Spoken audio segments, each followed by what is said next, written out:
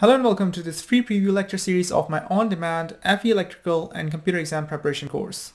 In this lecture, we are going to discuss bipolar junction transistors, BJTs, and we'll take a closer look at NPN BJT. Before we dive into the content, I would really appreciate if you could like this video and click the bell icon and the subscribe button if you haven't already done so.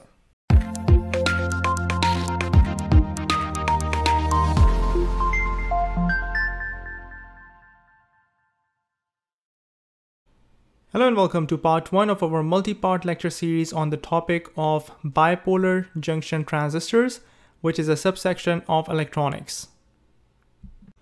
Learning objectives of this lecture include understanding BJT construction, doing a comparison between NPN and PNP BJTs, understanding the mathematical relationships, the equation that relate the base current to the collector current to the emitter current, regions of operation and biasing of BJTs, and DC circuit analysis, particularly the NPN transistors. BJT construction. We've so far looked at a diode, which is in many ways the simplest electronic device. It contains a p-type region which is in contact with the n-type region, and this becomes a junction diode. BJT is formed by doping three semiconductor regions which are called as emitter, base, and collector, and they are connected. So the emitter is the heavily doped region. So you can see the emitter over here. Base is a thin and lightly doped region. So this is the base and collector is a moderately doped region. Now you can see that they are junctions. So there is a base emitter junction and you can see that there is a base collector junction. So in the case of B, uh, in the case of a junction diode, we only had one junction. However, over here you can see more than one junctions. So this is how a BJT is constructed. And now we will take a look at its symbols and different types of BJTs. So we basically have two different types of BJTs. We have an NPN BJT and a PNP BJT. In the case of NPN BJT, the emitter is an N-type region and the base is a P-type region whereas a collector is also an N-type region. So this is how the junctions will look like. So you have an N junction for the collector, okay, which is this. You have an N junction for the emitter, which is this, and you have a P-type base, okay? So you have one junction here and another junction over here. And this is a symbol of a NPN BJT. I'll explain you the direction of these currents, but for now, you can see that it is shown by the symbol where this side, the plain side is the base, the side with the arrow is the emitter, and the other side is the collector, okay? In terms of the direction of the current, you can see that the emitter current is pointing away from the arrow, okay? So the collector current is pointing towards the emitter, and the base current is actually entering into the base. So you have to keep this in mind. You don't have to memorize this. This is all given in NCEES FE reference handbook. But in terms of just looking at a symbol and identifying whether it's an NPN or a PNP, the simplest thing is that if the point, if the arrow is pointing away from the transistor, that's an NPN transistor. Now we have a PNP transistor, PNP BJT. In this case, your emitter is a P-type region your base is an N-type region and your collector is also a P-type region. So this is your collector, this is your base, and this is your emitter. Now in terms of the transistor itself, you can see that the arrow is pointing inwards, okay? It is pointing inwards to uh, the actual transistor. So this arrow indicates that this is where the emitter is. And you can see that the direction of the emitter current is towards this arrow okay? And in the case of a PNP BJT, the direction of the base current will be away from the base and the direction of the collector current will be away from the collector. In terms of mathematical relationships, it is very important to understand how the emitter current, the base current, and collector current are connected with each other. So if you look at NPN BJT, it's pretty obvious. If we consider the base as a node, okay, so you can see that basically collector current is entering the node, okay, or just look at the transistor as a node. So the collector current is entering into the transistor. The base current is entering into the transistor. Then obviously the emitter current will have to leave because the sum of all the currents is equal to zero, which is indicated here. The emitter current is leaving and the collector current and the base current are entering. So you can say that IE, the emitter current is equal to the sum of the base current and the collector current. Okay, so that's pretty obvious. And that is true for PNP as well. So you can see over here in this case, the base current and the collector current are leaving, but IE is the one that is entering. The sum of all the currents, that is the sum of the currents that are entering should be equal to the sum of all the currents that are leaving. The only current that is entering is IE and the, all, and the two currents that are leaving are IB plus IC. Okay, so this particular equation is true for both of them. So are the remaining two equations. It's a property of the BJT that the collector current is related to the base current with this relationship. IC is equal to beta times IB, where beta is the transistor DC gain, DC current gain, and it is a property of the transistor. It would be provided to you in the question, so you don't need to worry about it. And the relationship between IC and IE is this. IC is equal to alpha times IE, where alpha is equal to beta divided by beta plus 1. So alpha is based on beta. So if you know beta, you can figure out both um, alpha and the relationships between the collector current and the base current and the collector current and the emitter current. Regions of operation and biasing of BJT. So in the case of diode, we know that it's a very simple device. It's a very important device, but a very simple device, especially the junction diode. It will only allow current in one direction when it's forward biased. And when it's reverse biased, it basically acts as an open circuit. Okay, so it really is a switch on and a switch off circuit. And it only has two states, forward biasing and reverse biasing. In the case of BJT, we have another function, and that is true for all the transistors. We have a mode of operation which is called amplification. Okay, and this is why transistors were such a huge breakthrough in the early 1960s, I believe, or 50s. And they really took off in 60s and 70s because of amplification. Prior to that, amplification would have been done using vacuum tubes and uh, the CRT TVs, if you've you're familiar with them, they basically use that type of archaic technology uh, to some extent. But amplification really took on by means of uh, transistors, and um, that's when the real revolution in electronics started to happen. So the mode of operation really that we are interested in is the active region or the amplification mode because the diode itself can also act as a closed switch and open switch.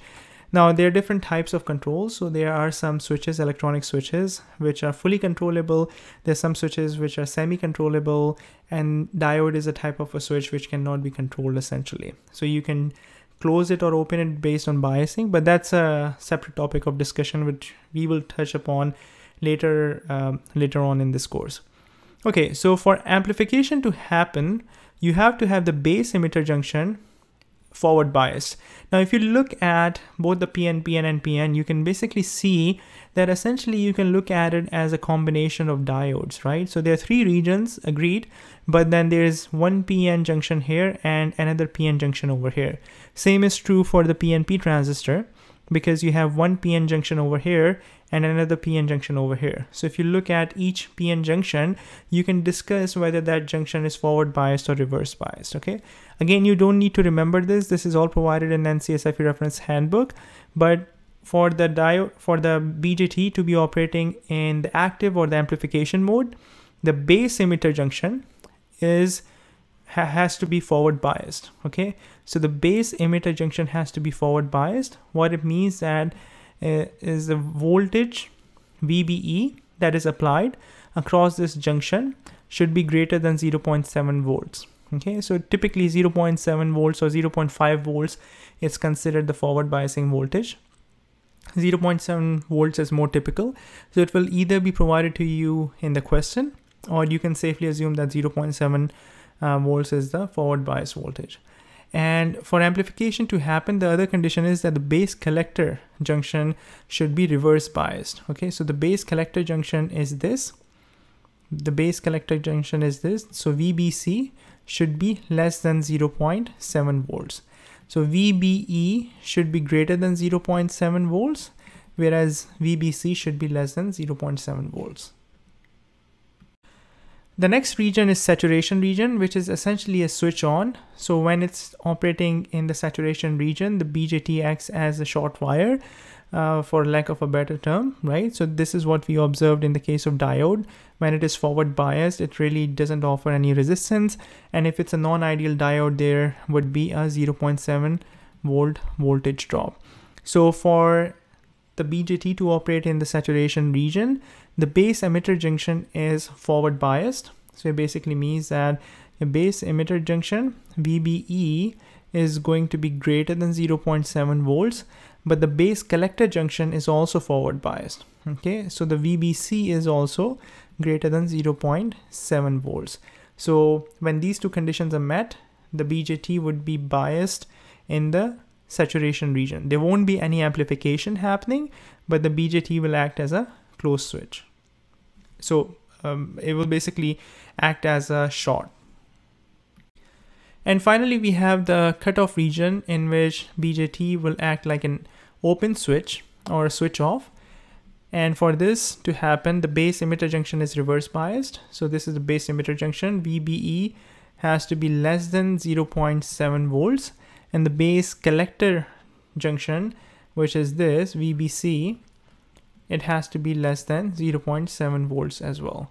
So these are the three regions of operation and biasing of um, the BJTs. Now we can potentially discuss what exactly happens in the amplification mode, what exactly happens in the saturation mode. We can discuss in the context of energy bands and so on. But uh, in my opinion, that is outside the scope for the FE exam.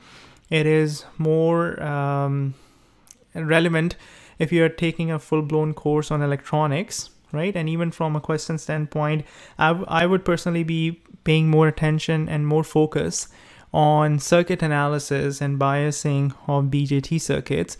But this much theory is important to understand okay it is important to realize that depending on how you're setting the voltages across these junctions your transistor may or may not be in one of these modes okay and really the biasing would determine whether your transistor is going to uh, do amplification or whether the transistor is going to act as a switch on or as a switch off.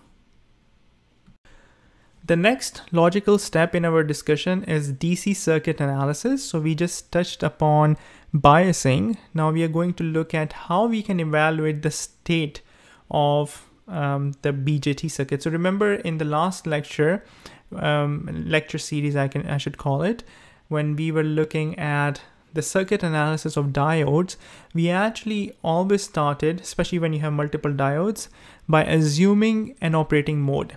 Okay, so if you want to quickly go back to uh, those lectures, please feel free to jump back because uh, if you remember that example where we had two different diodes D1 and D2 so we started by assuming that we thought that okay let's assume that both diodes are on and then we checked our assumptions and then we had to turn one of the diodes off. Essentially it's the same process over here but you're working with one transistor circuit but within that transistor circuit the transistor itself can be in three different modes of operation. So step number one is always to assume an operating mode that is active saturation or cutoff and remember that amplification for the BJT happens in the active region. So it's typically recommended to begin by active region unless you can observe right away that the BJT is biased such that um, both junctions VBE and VBC are actually um, reverse biased so you can determine cutoff. Uh, saturation is not that easy to just eyeball because uh, you really have to determine those voltages, right? So my advice is always to assume amplification mode unless you can tell right away, depending on biasing that it is a cutoff. Then you enforce conditions which are relevant for the re region of operation. So if you're assuming that it's uh, amplification mode, then you know that all the currents IB, IE, and IC will be greater than zero. Okay, and VBE in the case of amplification is equal to 0.7 volts. So you have to analyze the circuit and calculate the unknown currents and voltages. So you have to then go ahead um, calculate IB, IC, IE, as well as VCE and uh, VBC, and that will basically help you determine uh, whether actually the BJT is in the active region um, amplification mode or not. And finally, just uh, compare the results with the assumption. If they are consistent, then you're done. Otherwise, you will have to go back to step number one and assume a different state of operation. So typically, you would assume that it's in cutoff region, especially if one of these currents are turning out to be uh, negative or zero then uh, cutoff is the next logical uh, assumption to make. Now we will go through a bunch of these circuits because just explaining these steps in my opinion are not sufficient. But when you see how they are implemented in action by means of examples hopefully it will help um, address any questions that you may have at this point and also provide you additional practice. So this is our example number one. We are provided a BJT circuit and we are being asked to calculate the collector current if beta is equal to 75 okay remember beta is the DC current gain of this BJT so a couple of things that I'd like to point out is that first of all this is an NPN BJT now in this lecture we are just going to look at DC circuit analysis of NPN so uh, BJTs in the next lecture we will look at PNP as well because I wanted to um, keep it relatively simple, especially for this introductory lecture. At the same time, give you some examples of DC circuit analysis. So this is a NPN BJT and the beta is provided to you. Another thing that you can notice is that your emitter current has a current source, which basically means that the emitter current is fixed. Okay, so your IE is fixed to 1 milliamp. This is an important observation to make. The other important piece of information that's provided to you is VC. So your collector voltage is 2 volts. Based on the mathematical relationships that we explored earlier, we know that the emitter current is equal to the base current plus the collector current and the equation that relates the collector current to the base current is this and the equation that relates the collector current to the emitter current is this. Now we have already been provided IE, which is equal to 1 milliamp. I just explained to you that this is a very important um, observation that you have to make. Otherwise, you won't be able to really make much headway with this particular problem. Okay, so your IE is fixed to 1 milliamp and beta is equal to 75. So we know IE and we know beta and we know that alpha is actually related um, can be expressed in the form of beta. So we can easily figure out IC. Okay, remember I told you that alpha is equal to beta divided by beta plus 1. So you basically substitute the value of beta in here, you substitute the value of IE in here, and that will give you your IC. And IC is equal to 0.98 milliamp. Another tip that I would like to give you is that if the value of beta is fairly high, and fairly high I would say that if it's higher than 50, okay, then IE will always be almost equal to IC. Okay, so the reason is that IC is equal to alpha times IE. Now alpha is equal to beta divided by beta plus 1. Okay, so if you're looking at a small value of beta, which typically is not the case, the value of betas would be higher than 50 in most of the cases, right? Let's say the value of beta is very low. Let's say the value of beta is 1. Then you're looking at 1 divided by 1 plus 1, which is 0.5. In that case, your IC will be 50% of your IE. But if your beta is 50 or higher, then you're dividing 50 divided by 51, which is really um, greater than 90%, right? So 50 divided by 51 would be, I believe, 90, 98, 99%.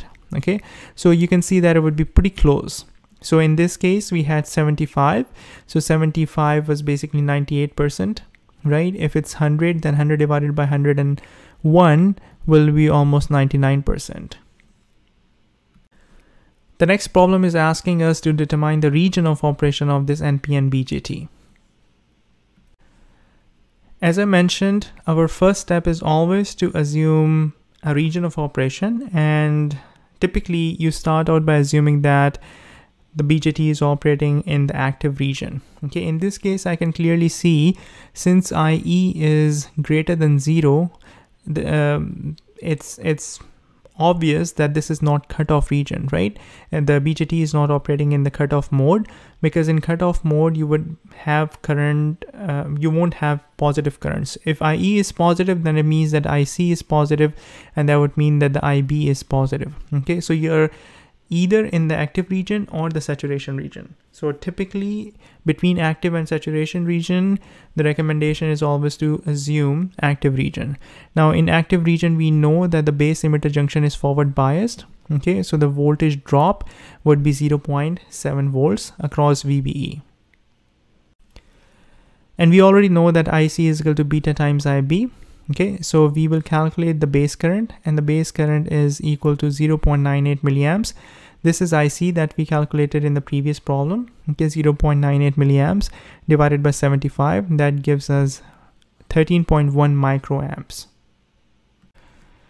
Now IB, we can see that this is this voltage over here is VB and this voltage over here is zero volts because it's grounded. And for the NPN transistor, the direction of the base current is this okay? So you can see that 0 volt in this case has to be a higher voltage than VB okay? So IB is equal to 0 minus VB divided by 50 kilo ohm. When you solve this you find that the value of VB is equal to minus 0.65 volts. We also know that VBE is equal to 0.7 volts which basically means that VB minus VE is equal to 0.7 volts and you rearrange this equation and then you basically find that VE is equal to minus 1.35 volts. So in these steps, we are basically finding the unknown currents and unknown voltages, right? We already knew IE and IC, so we went ahead and found IB. Once we found IB, it helped us find VB and finding VB helped us find VE. So you want to be able to find all of these critical voltages and currents, okay? So VC is already provided in the problem, which is equal to two volts. The other junction that we are interested in is VCE. So VCE is equal to VC minus VE, okay? So VC we just established, it's provided, it's two volts, and VE we know it's minus 1.35 volts. And when you solve that, you basically find that VC is equal to 3.35 volts, which is greater than 0.7 volts. So in some textbooks, you will basically find this condition that they ask you to check whether it is operating in the active region or not. Okay, if VCE is greater than 0.7 volts, you're good. In NCEES FE reference handbook, you have VBC, okay? The VBC needs to be checked and VBC has to be less than 0.7 volts.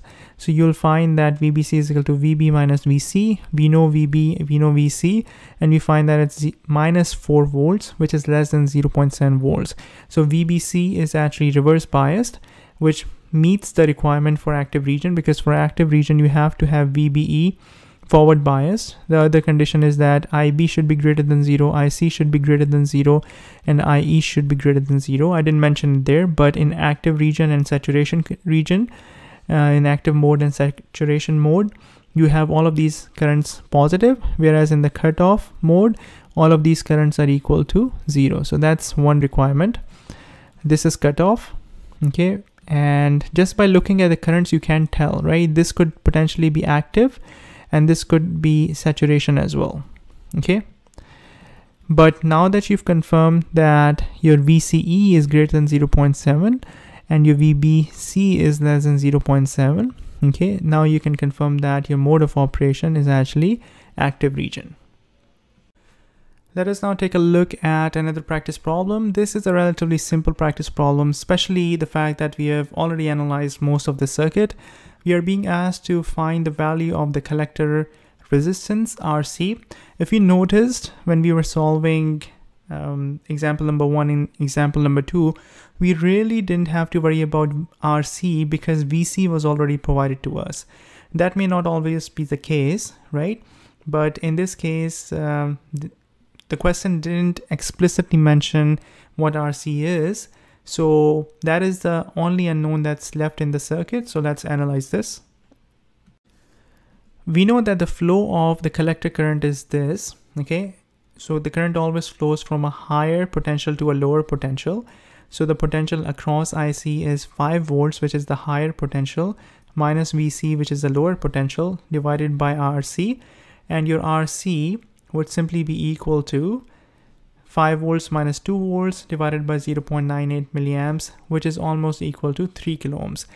So with this piece of information, we have now completely analyzed this um, transistor circuit. So we have completed the DC analysis. We know all the voltages, we know all the currents. We also know the mode of operation of this NPN BJT. So this circuit has been completely analyzed. So these are the steps that are involved in analysis of relatively simple BJT circuits. And in the next problem, we are going to analyze a much more complicated NPN BJT circuit. So the basics will remain the same.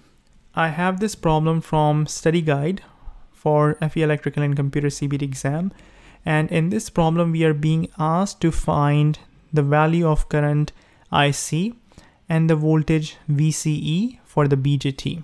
Okay, so typically by the time you determine IC and VCE, you basically analyze the entire BJT. Okay, they are also known as the Q point and these Q points, once you establish them, you also know the mode of operation of the BJT, okay, or the MOSFET. Because in order to establish what the VCE is and what IC is, you have to first of all determine the state of operation.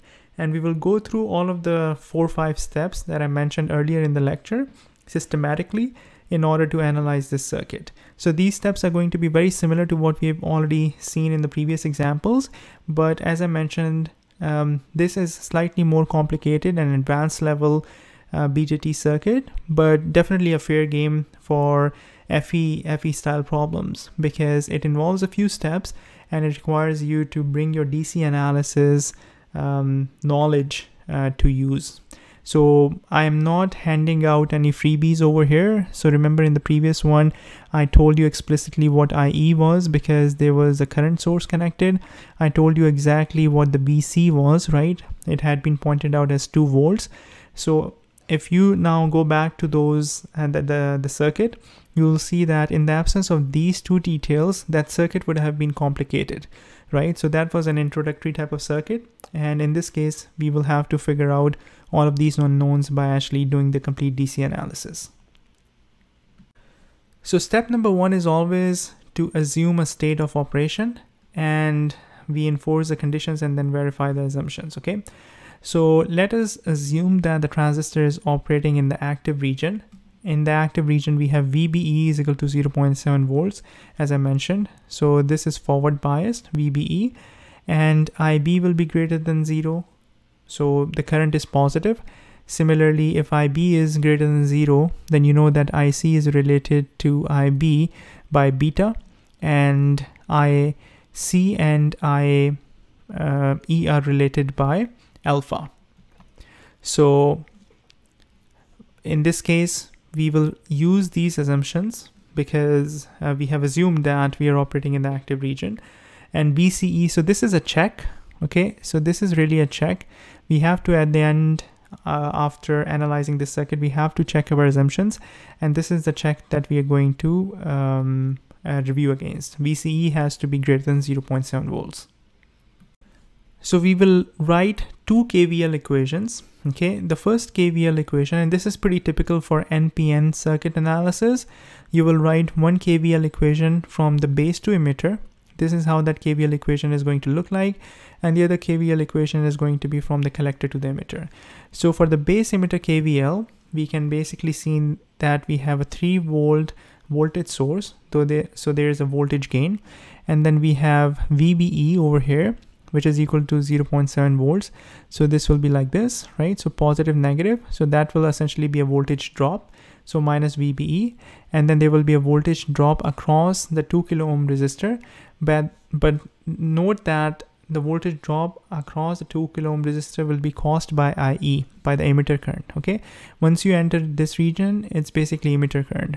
And the sum of all of that is equal to zero. Now you can rearrange that equation to figure out what the value of IE is going to be. IE will be equal to 1.15 milliamps. Now, when you know, once you know your IE, you can actually calculate your base current. So your base current will be 1.13 by 10 raised to the power minus 5 amps. And once you find your IB, you can find your IC. You can find your IC from IE as well. It's not a big deal. And you can notice that IE and IC, as I explained you previously, are very close, 1.13 milliamps and 1.15 milliamps. That's because your beta is very high. So now if we do a quick review, and you can pause this lecture at any time if you want to look at these steps in more detail. But essentially what we've figured out by now is our IE, our IB, and our IC. So with this information, we are going to proceed to the next KVL equation and then we will start finding the voltages. So actually we can write a KCL. We can write a KCL at the collector. So you can find that your IC, which we basically calculated in the last step, is equal to 7 volts minus the collector voltage divided by 3 kilo ohm. Okay, so 7 minus VC divided by 3 kilo ohm which basically means that our VC will be equal to 3.58 volts. And our VBE is equal to VB minus VE. Okay, we know that based on our assumption, the base emitter has to be forward biased. So VBE is set to 0.7 volts, which basically means that VB is equal to VB minus VE, which is 0.7 volts. And then we solve it for VE and we find that VE is equal to 2.3 volts. So we just found VC over here and we found VE over here. So VCE will now be equal to VC minus VE, which is equal to 3.6 minus 2.3 volts, which is 1.3 volts. Now VCE is greater than 0.7 volts. It basically means that one of the checks is made. And then you have IB, which is greater than 0 milliamps. Your IE is greater than 0 milliamps. And your IC is greater than 0 milliamps, so all the currents are positive, so the second check is also made. Now you can confirm that VBC will be negative, okay, will be negative, uh, less than zero, all right, 0.7 actually, it should be reverse biased. But um, as I mentioned before, in some textbooks, you will see this condition. In NCEES FE reference handbook, you'll see this condition, but you can verify it yourself that that will be the case. So that basically confirms that the transistor is operating in the active mode. And now the final answer would basically be in the form of your IC and VCE. So VCE we calculated is 1.3 volts and your IC is 1.138 milliamps. So the final answer is D, 1.13 milliamps and 1.3 volts. So in this lecture, we introduced BJTs. We looked at the construction of BJT. We did a comparison between NPN and PNP BJTs. Uh, we looked at the mathematical equations that relate the emitter current, the base current, and the collector current. We looked at regions of operation of BJT, the biasing, and we did uh, three or four different examples of um, circuit analysis, different steps that are involved in circuit analysis. These steps are very important to remember. Okay, they are not clearly laid out in NCEES FE reference handbook. Over there, they provide you the conditions, but um, you have to have this methodology, okay? And this will come with practice. So assume an operating region, enforce the conditions, perform the circuit analysis, essentially find out the unknown currents and voltages, and then finally check the assumptions.